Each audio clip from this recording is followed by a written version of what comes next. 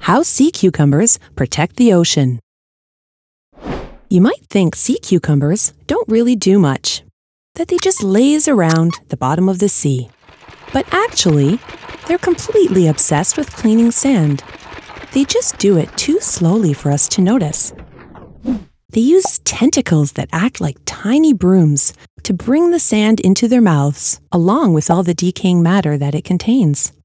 In fact, they feed on this very matter. Then they release the sand back into the sea, and it is now as clean as new. The filtering of the sand is happening all over the world, with positive impacts on seagrass beds, sandy plains, and their inhabitants. The trouble with decaying matter is that it removes oxygen from the ocean, and without oxygen, there is no life. If there are enough sea cucumbers around, though, they can help balance this process. In other words, by cleaning the sea floor, sea cucumbers create a healthier ocean for all. Fish better, fish forever. But how?